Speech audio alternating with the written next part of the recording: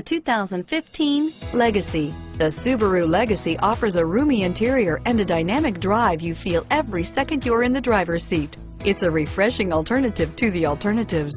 This vehicle has less than 8,000 miles. Here are some of this vehicle's great options.